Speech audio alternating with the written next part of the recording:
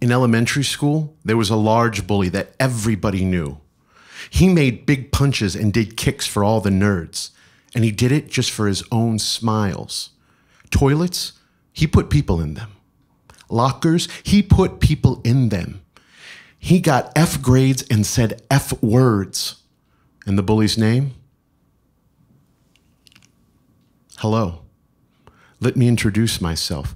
My name is the bully from the story. Thank you.